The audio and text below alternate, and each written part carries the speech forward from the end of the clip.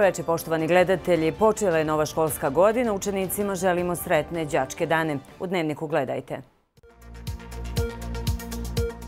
Četiri osobe smrtno stradale u mjestu Lipničko brdo kod Kaknja.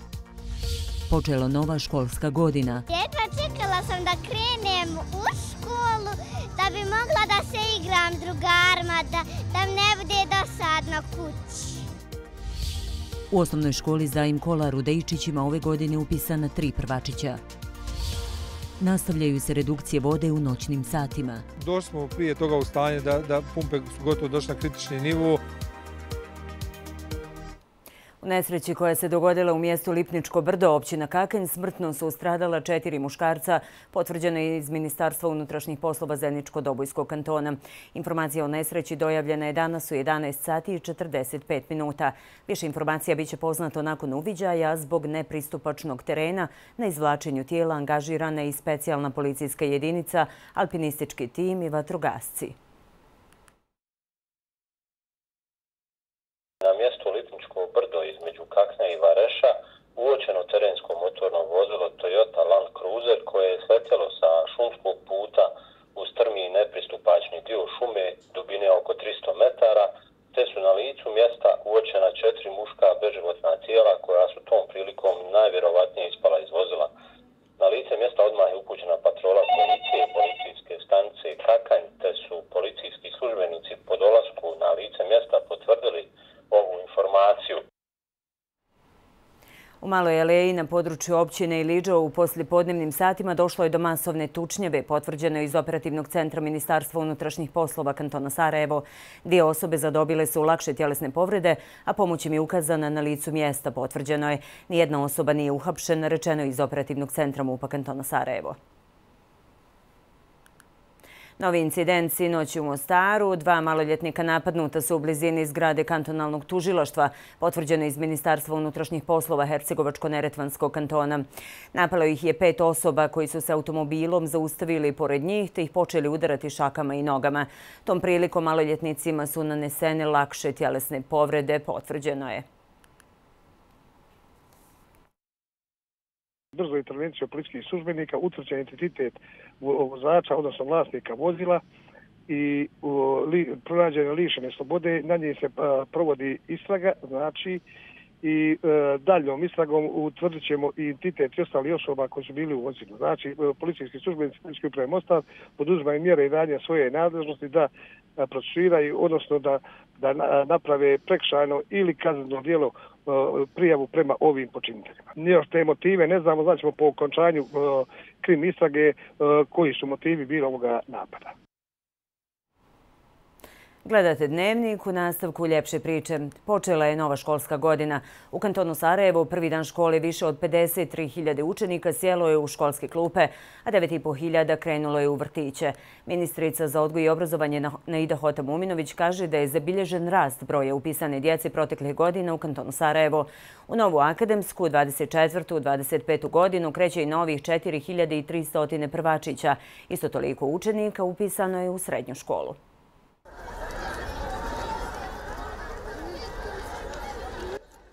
Počela je nova školska godina nakon ljetne pauze, učionice i dvorišta ponovo su puna. Za prvačiće koji prvi put kroče u učionicu, to je poseban trenutak, ulazak u svijet učenja i novih prijateljstava. Jedva čekala sam da krenem u školu, da bi mogla da se igram drugarima, da, da ne bude dosadno kući. Ja se zovem Elvina. Ja se zovem Mak. Kako se danas osjećate?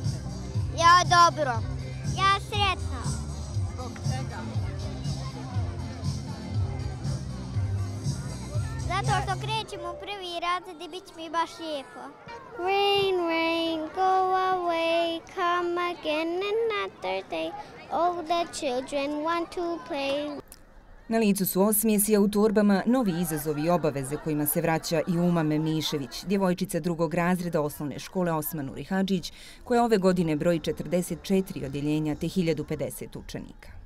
Meni je raspust baš dobar prošao. Jesi poželjela školu? Jesam. Zato što da volim učiti. Učiti je svake godine isto, malo promjene kurikulumi koji se donose na pokušavanju poboljšanja nastave i inovacijama. Kao ljudi što su to donijeli, trudimo se koliko njima trebalo da to savladaju, toliko se mi trudimo.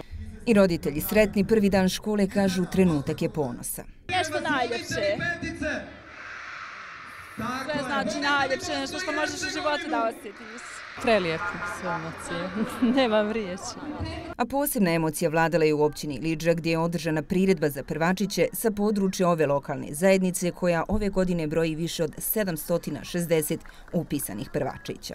Ovo je već druga godina kako organizujemo i zaista se pokazalo kao dobro iskustvo za djecu da nosi lijepe uspomene, a također i za roditelje. U našem kantonu i ove godine učenicima osnovnih škola od 1. do 9. razreda obezbjeđeni su besplatni učbenici. Resorna ministrica obišla je Sarajevske škole. Mi ćemo raditi sad u narednom periodu na tome da se to proglasi javnom djelatnošću od opšteg javnog značaja i interesa u kantonu Sarajevo i da onda možemo učiniti dostupnim učbenike trajno, e, besplatno za sve učenike i osnovnih i srednjih škola. Svaki početak nove školske godine označava početak jedne lijepe priče, priče veselih đačkih dana. Važna je podrška svih u procesu prilagođavanja na novu rutinu. U osnovnoj školi Zaim Kola u Dejčićima ove godine upisana su tri prvačića. Uz priredbu i poklone kreću u nove izazove i stjecanje novog znanja. Osnovna škola Zaim Kolar nalazi se u Trnovu, općini koja je po površini najveća na području kantona Sarajevo. Nju trenutno pohađa nešto više od 40 učenika, a ove godine samo su tri upisana prvačića. Ja imam šest godina, zovem se Fantima. Radujem se što idem u školu. Radujem se što se mi sviđa ova škola. Ima neki predmet koji najviše? Pa sviđa mi se što tu može da se igra basketbol. Voli. A šta voliš? Ajde, Da učim, da matematiku, učim engleski. Kako bi mogla biti realizovana nastava za prvačiće, pohađat će zajedno sa učenicima trećeg razreda, koji su sa velikim zadovoljstvom prihvatili svoje nove školske drugare. Ja ću njima pomagati za bilo šta. A mi ćemo se zabavljati, pomagat ću tako to. Najviše volim predmet bosanski. Pa zabavan mi je. Rad u kombinovanom odjeljenju je nešto na što smo mi već navikli. E, ne, mi imamo jako malo djece, što je negdje napravljeno kao balans, tako da imamo dva programa po kojem učiteljice radi. Uz priredbu, pjesmu i ples otvorena su vrata škole i prvačićima. Uz dobrodošlicu dobili su i brojne poklone. Ova škola nudi onaj veoma, veoma dobre uslove, znači veoma dobro smo opremljeni, imamo stručan kadar, tako da će ovi učenici u ovoj školi imati onaj nešto ono najbolje što možemo da im ponudimo. Dok će za neke ovo biti uobičajena aktivnost na koju su navikli, za će ovo prvi ozbiljan susret sa novim obavezama i školom. Općina Novo Sarajevo izdvojila je 50.000 maraka za nabavku ruksaka i školskog pribora za sve prvačiće iz 10 novosarajevskih osnovnih škola, te edukativni centar Nova Kasaba, ali i za prvačiće iz osnovne škole Srebrenica Potočari. Pokloni su podijeljeni za 760 učenika nakon priredbe i prijema prvačića. Da im zaželim sretan početak osnovne škole, ovo je jedan novi period u njihovom životu, ne samo za njih, nego i za njihove roditelje, a siguran sam, odnosno svi mi znamo koji smo sve to već prošli, i kao djeca, i kao ovaj, osnovci i prvači, i kao roditelji, da je to stvar najljepši dio ovaj, života svakog, svakog djeteta i svakog čovjeka. Položen je kamen temeljac za objekat i time ozvaničen početak gradnje osnovne škole na Stupu na Iliđi, o kojoj se priča oko dvije decenije. Planirano je da 11. osnovna škola bude izgrađena za dvije godine. Procijenjena vrijednost radova je oko 18,8 miliona maraka. Položen je kamen temeljac. Škola će zadovoljavati potrebe savremenog obrazovnog procesa, Kapacitet će biti do 600 učenika. Tu su i specializirani kabineti, posebno kabineti fizike, hemije i biologije. Tu su prostori za produženi boravak. Tu su naravno i prateći sadržaj u vidu školske kuhinje, dobrog školskog restorana, sportske dvorane, dobre biblioteke. Tako da vjerujemo da će ovo biti jedno pulsirajuće mjesto. Ova osnovna škola je bila potrebna i prije agresije na Republiku Bosnu i Hercegovinu. Ta potreba je izraženija nakon gradnje novih naselja poput Tibre i Bulevara. Pored škole imat ćemo i prateće, prateće, e, prateće objekte koji se sada nalazi ovdje na teritoriji gdje će biti škola. To će biti prostor za ambulantu, prostor za mjesnu zajednicu, multifunkcionalna sala i ono što je vrlo važno spomenuti, uz ovu školu neće biti obična školska dvorana, nego će biti sportska dvorana sa nekih 500 sjedećih mjesta. Po svojim gabaritima će omogućavati da se odigravaju sva dvoranska takmičenja u, u, u, u ovoj sportskoj dvorani. Rok za izvođenje radova je 24 mjeseca, ali ja se nadam e, da ćemo uspjeti čak i to ranije da završimo, ali evo ne producirali nikakve ovaj nove termine, rok je zadat ugovorom 24 mjeseca. Izgradnji 11. osnovne škole su prethodili dugogodišnji problemi, između ostalog iznalaženje lokacije, ali i sudski sporovi za neke lokacije koje su bile predlagane. Nakon više od dvije godine konačno je uspostavljena redovna linija koja će se obraćati na relaciji od Hadžića do Košćana i suprotno. Posebno je značajna zbog početka školske godine jer će upravo djeca iz ovog mjesta biti najveći korisnici. U proteklom periodu mnogi su do škole morali pješačiti do 9 km u svim uvjetima. Roditelji i učenici nadaju se da je na ovaj način njihov problem prijevoza konačno riješen. Situacija unazad dvije, tri godine je katastrofa bila. Znači, nešto što se ne more izdržati. Evo, riješili smo problem. Nadam se da će ovo potrajati u korist ove djece. Meni je žao što se sve lomi preko djece, ali šta će, šta je tu je. Uglavnom, onaj, ja mislim da su najsretnija djeca u svemu ovome. Pa daleko je bilo, Boga mi daleko je bilo njima, onaj, pogotovo kad su zima i to sve. Pa, dobro, linija je gore, hajde da kažem, onaj, na, na, na, na, na visini, na jednom brdu gdje, gdje djeca imaju daleko do škole ići. Sad, evo, dok su ovi uvjeti kako treba, što kažu, ne bi ne bilo problema. Zimi vidjet ćemo kako će hodati. Ako bude snijega, lanci će biti spremni, ali tako? Što se mene tiče, ja mogu i po snijegu i po, i po, onaj, po svemu onaj, voziti, nema problema nikakvije. Ljeto 2024. najtoplije ljeto u posljednjih 135 godina, kažu iz Federalnog hidrometeorološkog zavoda.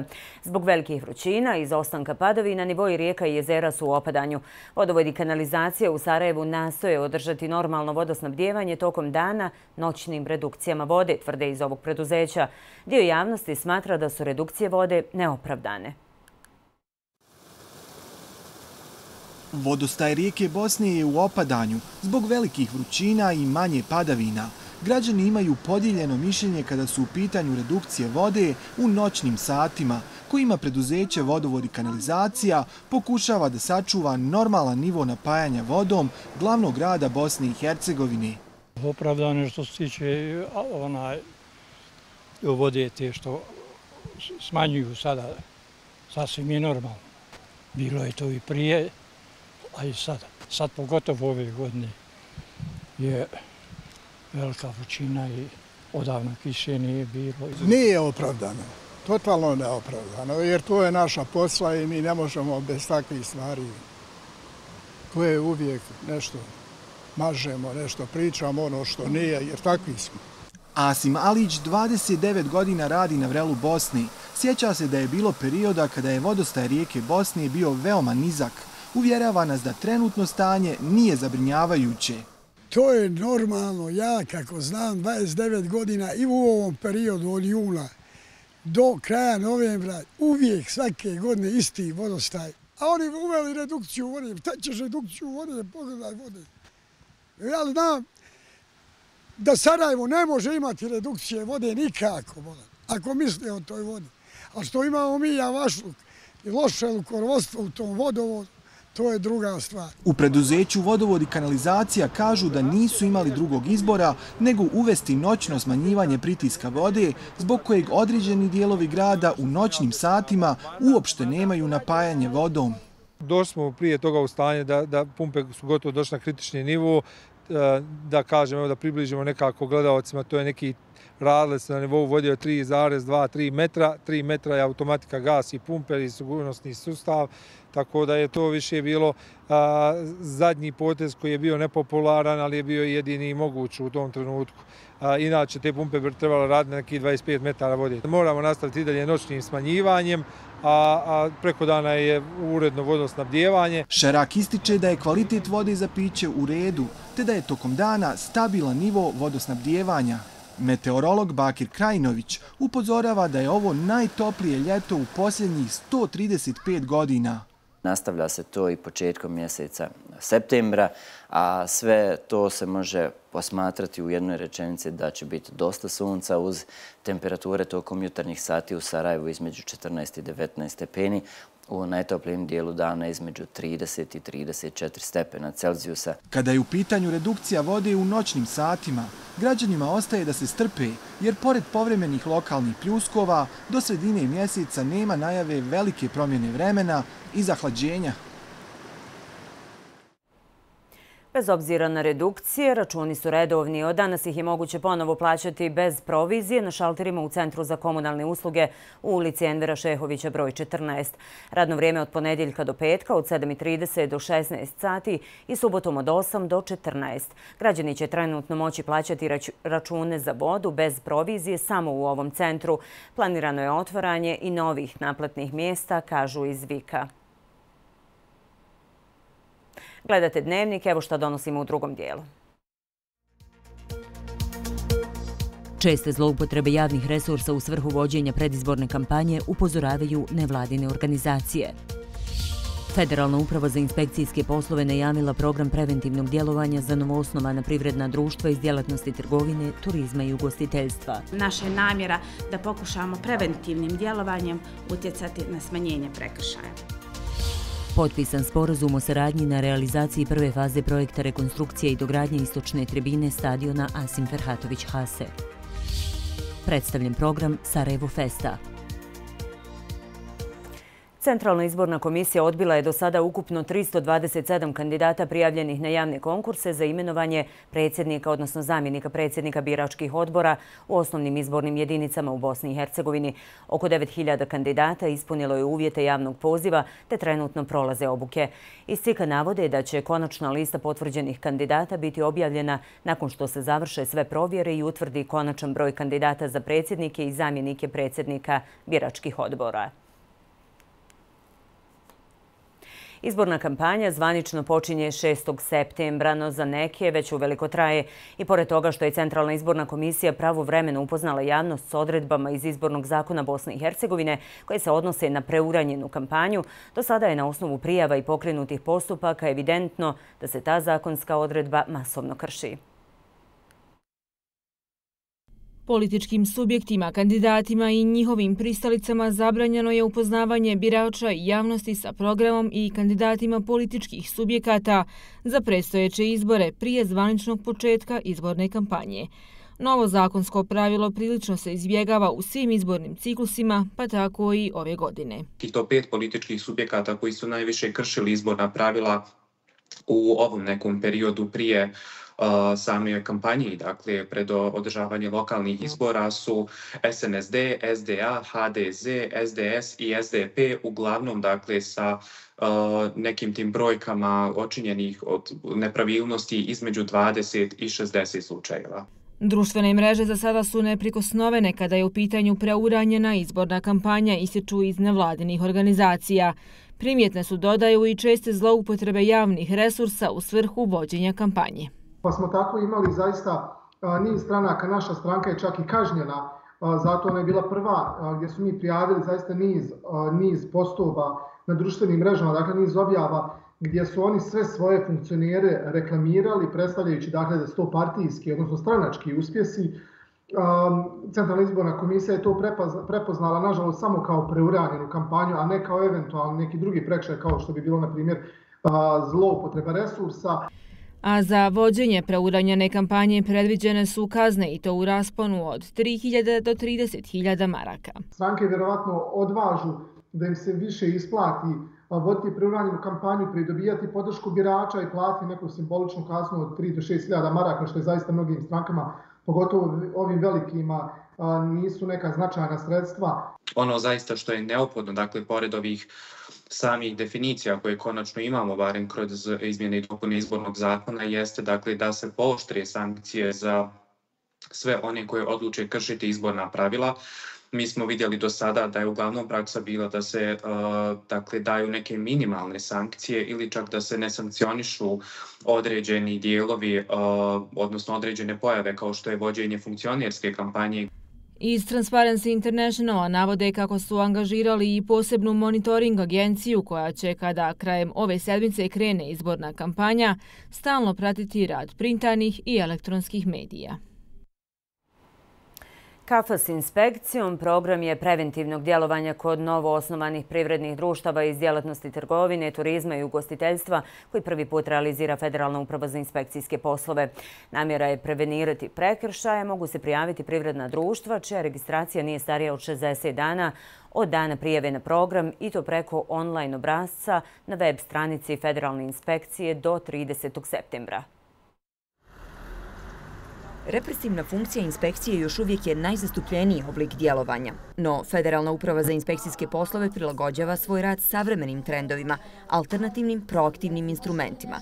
Jedan takav je upravo program preventivnog djelovanja, KAFA s inspekcijom. Za skraćeni naziv programa Kafa sa inspekcijom smo potrebili simboliku konzumiranja kafe, koja u našoj kulturi nosi uvijek pozitivnu konotaciju i asocira na prijateljski razgovor, kako bismo naglasili da program preventivnog djelovanja nije usmjeren na kažnjavanje, nego na savjetodavni prvi kontakt novoosnovanih privrednih e, subjekata e, i e, inspekcije. Inspektori će privrednike upoznati pored ostalog sa obavezama iz zakona i drugih propisa, ukazati na štetne posljedice njihovog nepoštivanja, te dati informacije i savite o djelotvornijem načinu izvršenja zakona. Podizanjem stepena usklađenosti poslovanja sa zakonom e, koje je zasnovano na dobrovoljnim osnovama, smanjuje se siva zona poslovanja i zona koruptivnog djelovanja, a istovremeno i ostvaruje cilj inspekcijskog nadzora, a to je poštivanje propisa. Na program KAFA sa inspekcijom mogu se prijaviti privredna društva iz djelatnosti trgovine, turizma i ugostiteljstva, čija registracija nije starija od 60 dana od dana prijeve i to putem online obrazca na web stranici federalne inspekcije do 30. septembra ove godine. Ukoliko se pokaže uspješnim, direktorica Prvulović navodi kako će planirati dalje provođenje preventivnih programa, ali to ne znači da neće pojačati inspekcijske nadzore. Nakon što je vlada kantona Sarajevo u cilju jačanja kapaciteta kantonalne uprave za inspekcijske poslove u januaru dala saglasnost za popunu 20 upražnjenih radnih mjesta u kantonalnoj upravi za inspekcijske poslove Sarajevo, s početkom septembra novi inspektori biće u službi. Ovom prilikom zaposleno je novih 15 kantonalnih inspektora, od kojih tri tržišno-turistička, dva veterinarska te dva inspektora rada. Po jedan urbanističko-građevinski, inspektor zaštite okoliše, inspektor rada u oblasti zaštite na radu, termoenergetski te inspektor za hranu, po jedan zdravstveni, saobraćajni i inspektor za visoko obrazovanje. Pored njih s radom u kantonalnoj upravi za inspekcijske poslove počinju i dva stručna savjetnika. Do kraja septembra biće objavljen javni konkurs za prijem još dva inspektora, inspektora rada i inspektora za obrazovanje, koji će biti realizirani po istoj saglasnosti.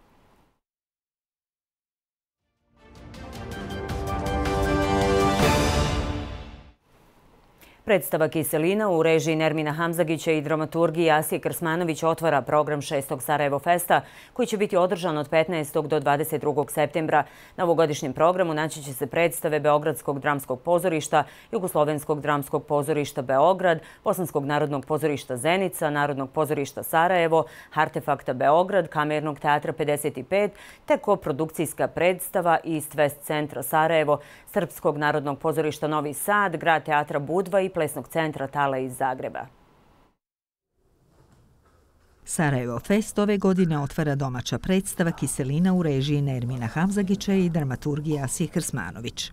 Ova predstava otvara i umjetnički forum. Imamo tri foruma, znači mi imamo uh, umjetnički forum gdje se prikazuju predstave i filmovi koji imaju određen sadržaj koji je relevantan socijalno ili politički. Imamo uh, uh, forum mladi, Young forum, koji, gdje dolaze mladi iz čitavog regiona i oni zajedno sa domaćim međunarodnim mentorima prate festival i pokreću određene teme koje su bitne za, za mlade, ali za društvo u cjelini. Također će biti održan forum i panel diskusije s različitim temama, kao što je borba novinarstva sa autoritarnim režimima, suočavanje sa budućnošću, sekularna država. Umjetnost nam uvodi u naš javni prostor kritičko mišljenje i mislim da ovo je jedan festival koji nas svojim tematskim odabirom predstava, autora koji dolaze jednim velikim brojem publicista i novinara, gosti ovoga festivala i tekako navodi na razmišljanje koje su to društveno-političke, ali univerzalne, rekao bih, teme koje u ovom momentu opterećuju ne samo našu javnost, nego i globalno. Sarajevo Fest će biti zatvoren koncertom Songs of Liberation na trgu Suzan Zontag u produkciji East Fest centra i u partnerstvu sa Festivalom kultura na ulice.